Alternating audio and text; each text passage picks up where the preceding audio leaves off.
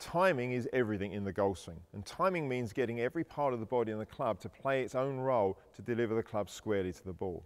Well, the SNAGazoo training tool will help get that balance of the swing exactly right because it helps the client know whether they've used their hands and their wrist correctly in the swing. It gives audible feedback.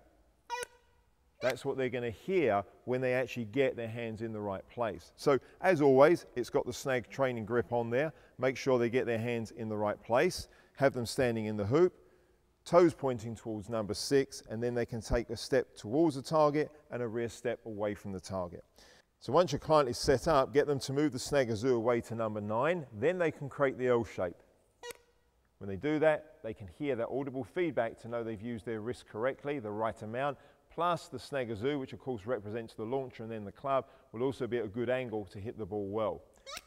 Get them to practice that a few times. Number nine, L shape. They get that audible feedback.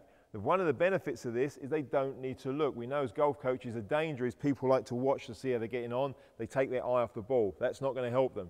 The great thing with the SNAGazoo, it's all audible. They can hear it. There's no need to move their head position. Let's do that one more time. There, and the L shape uh, gives them that feedback. Once they've done that a few times, then they can do it all in one go.